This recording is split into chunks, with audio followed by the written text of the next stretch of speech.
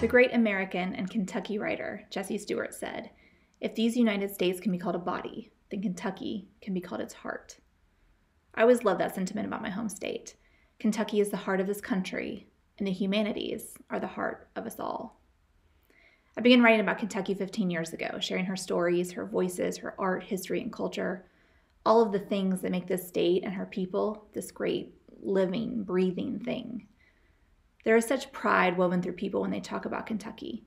Their accents and stories are different, and yet the same. And together they make up this rich narrative, this amazing journey of people and places and experiences and what they all mean and how they all helped us get here. That's what's so important about the humanities. It's our stories, it's our histories, it's our experiences. It's what makes up all of us. It's why we and where we come from matter. It's the words in the song, the dialogue in the book, the answers to why. I am thankful for the humanities this year and every year.